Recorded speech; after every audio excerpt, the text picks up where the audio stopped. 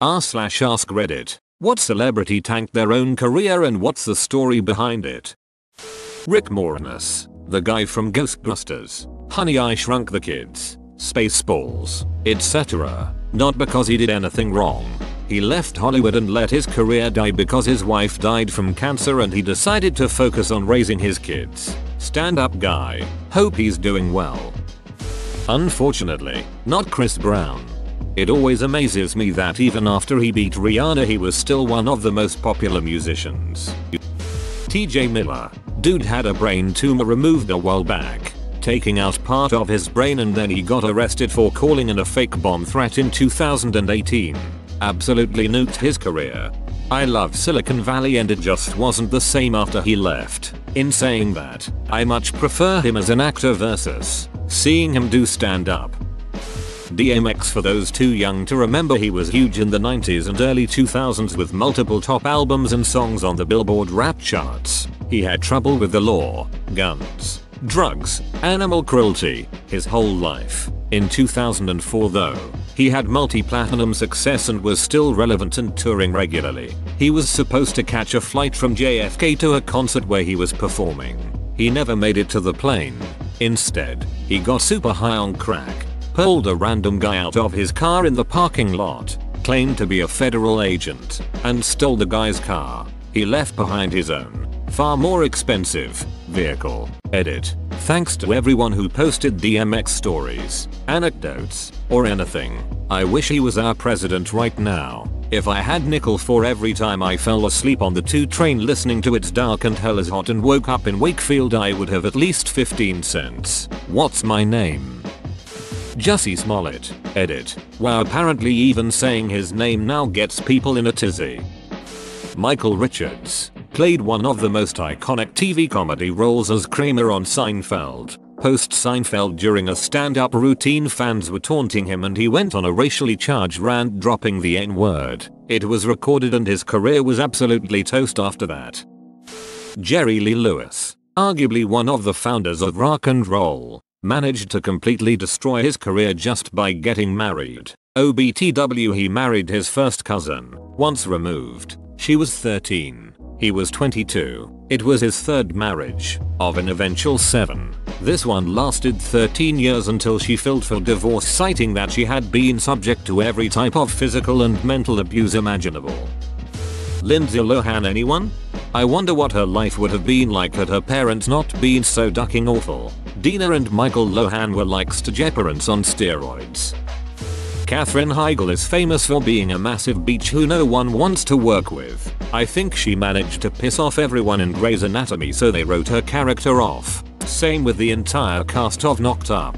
She went from being huge in 2007 to 2008 to being a ghost now. Mel Gibson famously torpedoed his career in 2004 to 2006 with multiple anti-Semitic and racist outbursts and such. He went from being a massive ducking star in the 90s to being persona non grata for like 10 plus years. He's still not back to where he was now. Lauryn Hill has famously destroyed her career since the early 2000s. After the Fugees made it big she went solo with one of the biggest debut albums ever and then frequent diva behavior has made her the ultimate has been. Definitely the judges who bullied the contestant on Factor New Zealand. That outburst was just so bizarre. The guy shows up with maybe the most common men's haircut and wears a navy blue suit and she says he's stealing her husband's look WTF. There millions of guys who wear that exact combo every single day lol. OJ Simpson. It may have already been said in here but Macaulay Culkin, Home Alone, and honestly I think it's a good story. He was just tired of being a child star and wanted a normal life. While some people make fun of how he looks now he's just living life and having fun. He has a band called Pizza Underground where they sing about pizza and tell jokes. I just think it's good to see some of the celebrities that tanked but for good reasons. CeeLo. He said there was nothing wrong with spiking women's drinks. I'm surprised nobody has mentioned the Dixie Chicks getting themselves basically blacklisted from country music after criticizing Bush. Not ready to make nice is pretty awesome though. Orlando Brown turned crackhead former Disney star. For a split second there I was like wait, Legolas does crack?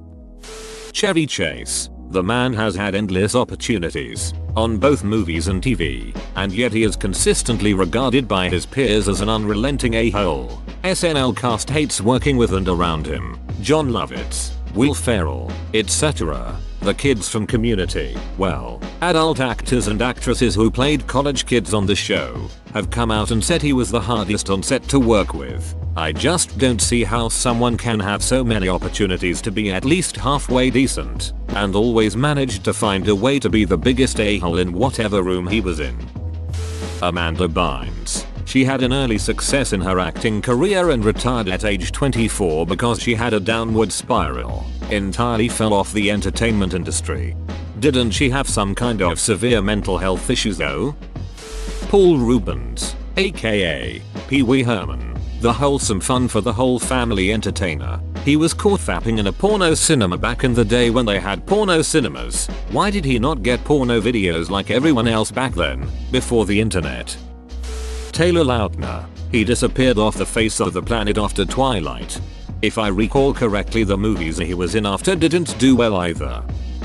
Mo'Nique. She refused to participate in campaigning for an Oscar after she was nominated for her role in Precious. It started a feud of sorts with the director, Lee Daniels, which led to her being blackballed, or so she claims. She hasn't really worked again since winning an Oscar, which is pretty odd.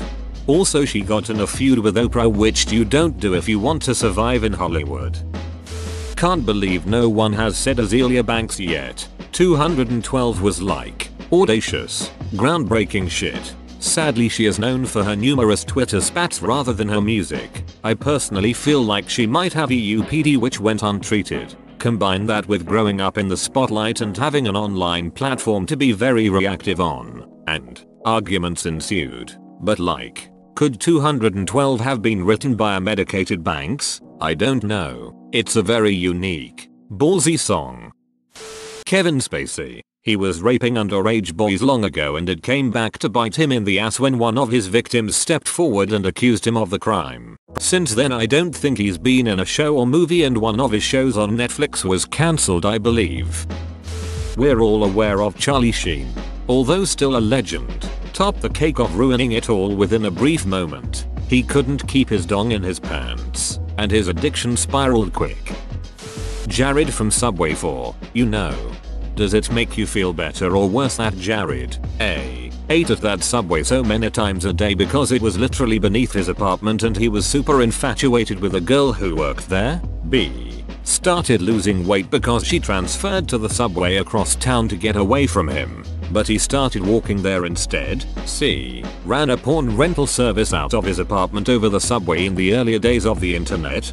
D. That subway is literally half a block away from a school full of children many of whom either walk to school or walk to the subway for lunch. Source. IDK man but the dude went to the same high school and college as me and isn't drastically older than I am and I've heard all of those things separately from multiple unrelated people, including teachers at that school. And ducking everybody knew that dude's a creep. Look at his creepy little beady eyes.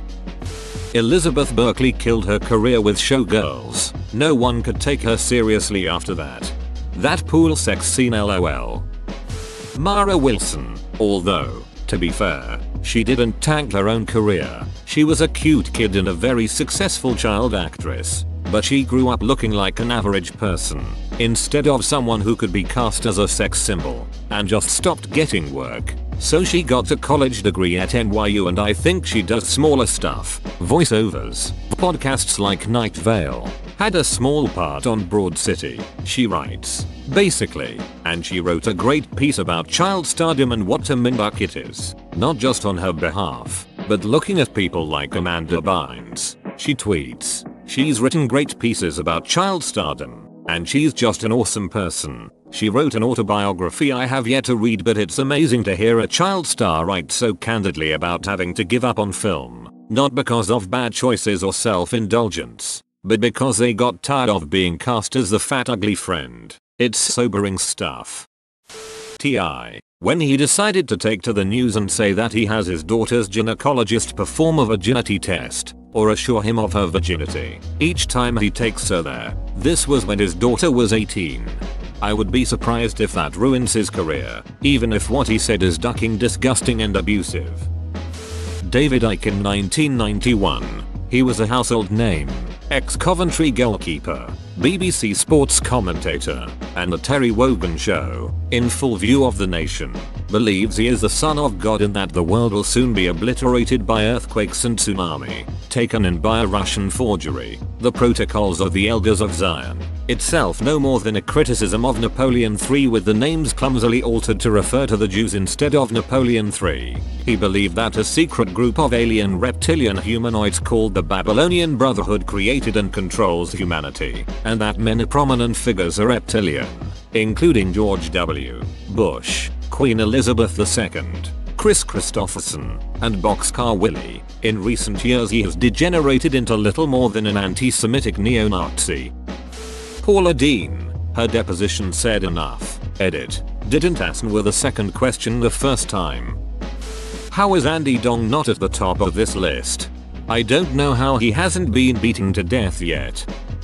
Fatty Arbuckle comes to mind. He was a highly successful comedian actor known in Hollywood for his physical comedy throughout the 1910s, sort of like the original Curly from the Three Stooges or Chris Farley type.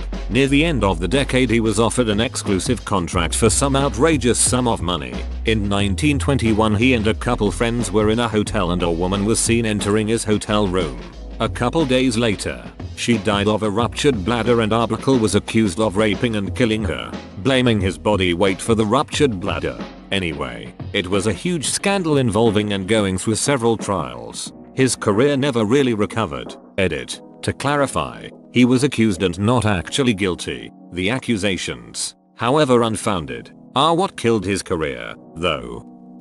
Steve Rannazzisi lied about being in the World Trade Center on 9-11. Also, Jan Michael Vincent was a super good looking actor in the 80s that got a little too into drugs.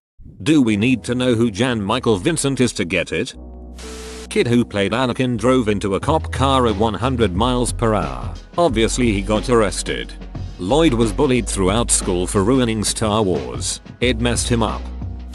Jennifer Grey. She was the unconventionally cute lead from Dirty Dancing, which was a huge hit. She was set to be a breakout star, but she fixed her nose and became just another interchangeable young actress. Courtney Love. In addition to being the front woman of Hole she acted until she called out Harvey Weinstein. If Harvey Weinstein invites you to a private party at the Four Seasons, don't go, after being asked if she had any advice for young actress just getting started. I'm sure someone has said this already, but Chris Taylor Brown from the band Trapt, he isn't exactly a celebrity, rather a guy who had one hit song 18 years ago, Headstrong. He's been going on this weird rampage of tweets lashing out at people who don't like him and his opinions and flexing the amount of listeners he gets on Pandora. It's surreal. Whoa, you made it to the end? You're a ducking beast. I'll cut you a deal. Smash like and subscribe for more curated content bruh. It's free and that's a great price.